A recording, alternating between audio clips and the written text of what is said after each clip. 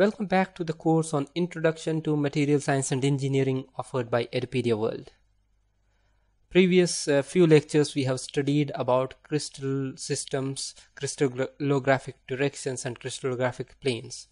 Today we'll see some definitions and some specific things like single crystal, polycrystal, anisotropy, isotropy and amorphous materials. Let's start with single crystal. Single crystal refers to a material specimen which has periodic arrangement throughout the specimen without any discontinuity. That means that uh, the orientation throughout the material is the same. The unit cells throughout are at the same orientation. Okay. What this also means is that let me just try to draw something. If these are the places where atoms are supposed to be right as per the unit cell then throughout the material that specific pattern will be held. There will be no discontinuity. There cannot be a change in like till here we have this kind of pattern and then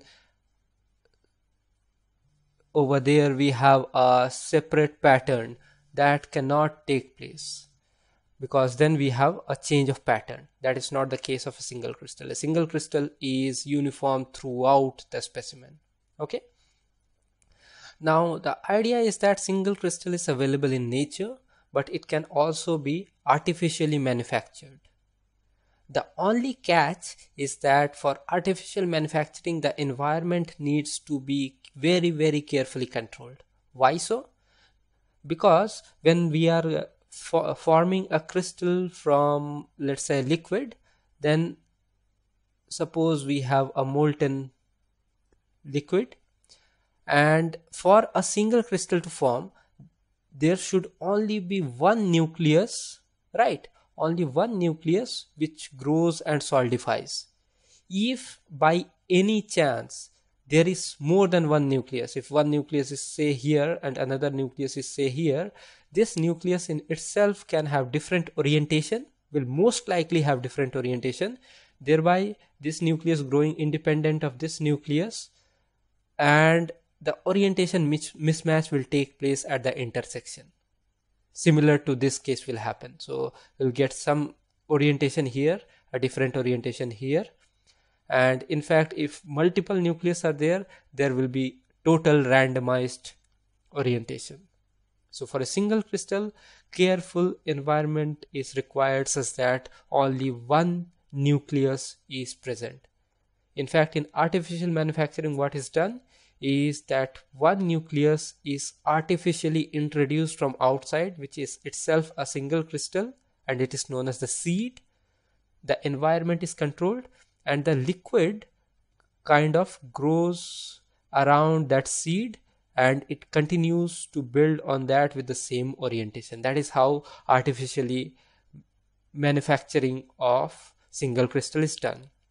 Single crystals are of quite significance why? Because the electronic industry is uh, has an important component in terms of silicon single crystal or other semiconductor silicon uh, single crystal.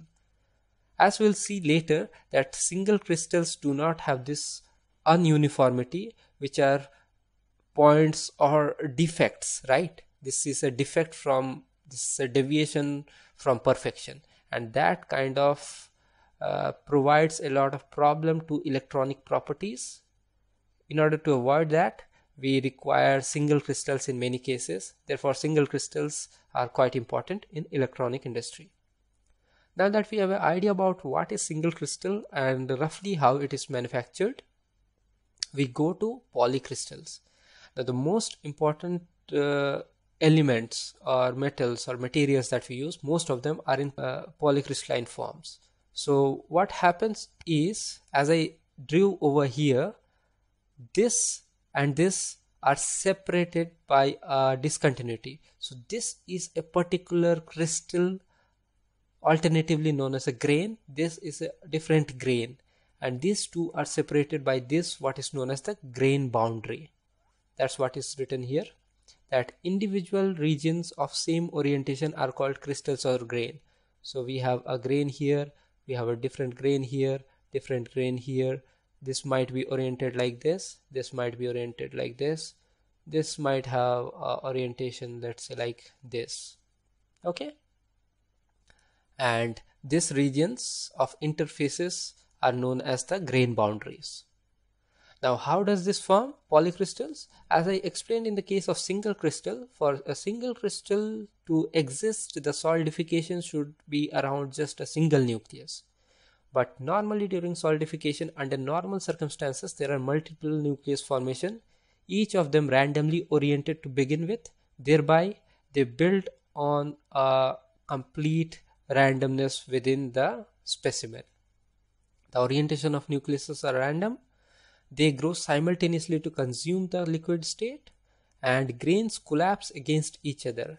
As i have shown here they are kind of eating up the liquid and collapsing against this grain is hitting against this grain thereby occupying the complete region right? And two grains are separated by a grain boundary which is a region of orientation mismatch. Fine so this gives you an idea about the difference between single crystals and polycrystalline material and uh, so with this concept let's see the idea of isotropy and anisotropy. So to begin with, what is this? There are certain properties like electrical conductivity and elastic modulus for certain materials which depends on the crystallographic direction or the crystallographic orientation of the grains okay so a certain plane will have higher electrical conductivity a certain direction will have a higher electrical conductivity compared to other direction or other plane. Now this behavior is known as anisotropy. This behavior to have different properties in different direction is called anisotropy. Okay. Single crystals have similar orientation throughout Therefore, what happens is that the properties which depend on direction like electrical conductivity or elastic modulus will depend on the orientation of measurement at which the single crystal is during the measurement, right? If the single crystal measurement is taken in 111 plane direction and uh, another for the same material is taken in 110 direction, then the results may be different for such properties which are dependent on crystallographic direction right? This is true for single crystal because it has uniform orientation throughout. This directional property is known as anisotropy as i explained but there are properties which are independent of direction of measurement. Or there are specimens which for even for directional properties do not have a particular uh, specific orientation having specific property and different orientation having different properties. And such material are known as isotropic what this means is that an isotropic material has same value of a particular property whichever direction we measure it through. Now how can you think about it? This can be two cases. One is that the property itself is direction crystallographic direction independent. Second the material is such that the crystallographic directions are randomly oriented such that they kind of uh, average out in uh, any direction of measurement right? That is exactly the case in polycrystalline materials. In polycrystalline materials what happens is the grains are randomly oriented in all directions. Hence the complete polycrystalline material behaves as a isotropic system. I hope you get the idea. Because uh, there will be different grains with different orientation. Okay different grains at different orientation. Thereby what will happen is that the average orientation will be same in all directions. So there is no case of anisotropy to happen because it the directions are averaged out in all the directions. Fine. Next uh, let us understand uh, idea about non-crystalline or amorphous material. As you have already seen as i have already discussed before that amorphous materials do not have a long range periodic arrangement. Crystalline materials have long range periodic arrangement.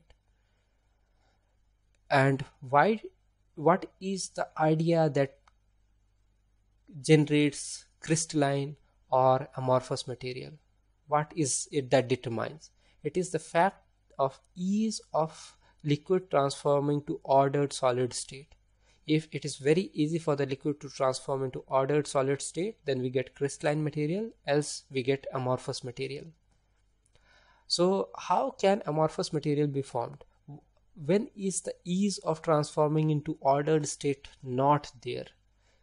There are two cases basically speaking. One is that the structure which is formed after solidification is a very complex structure when the structure formed is very complex structure which is the case in most of polymers then what happens is one molecule and the next molecule no longer forms a pattern. They are randomly oriented. Thereby we get a amorphous kind of structure. A second case can be when we do rapid cooling. When we do rapid cooling what happens? We are giving the material insufficient time for diffusion and without diffusion the ordering cannot take place thereby insufficient time to form ordered structure by rapid cooling leads to amorphous material too now, broadly speaking, metals are mostly crystalline. Ceramics can be crystalline as well as amorphous, depending on different criterias, whereas polymers are mainly amorphous. Why so? Because polymers are normally long chain materials which are complex structure and thereby during solidification it is easier to form amorphous material than crystalline material. So this gives you an idea about non-crystalline or amorphous materials.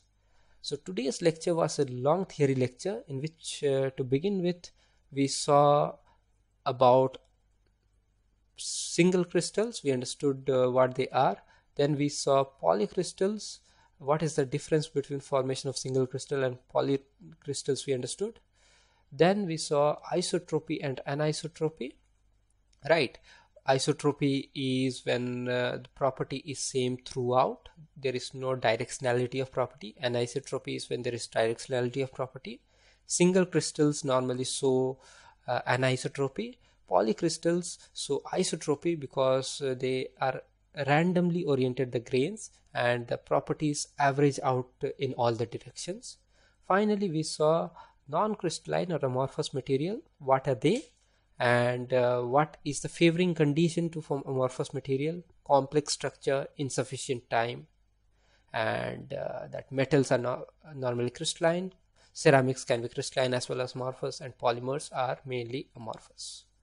Fine so this chapter has been a long chapter in which we saw the concept of crystal systems and we build on those ideas now we have a backbone on which we can further build and understand the very physics of material science and engineering. So I hope you will be here for learning more about this interesting field. Till the next lecture, have a great day. Goodbye.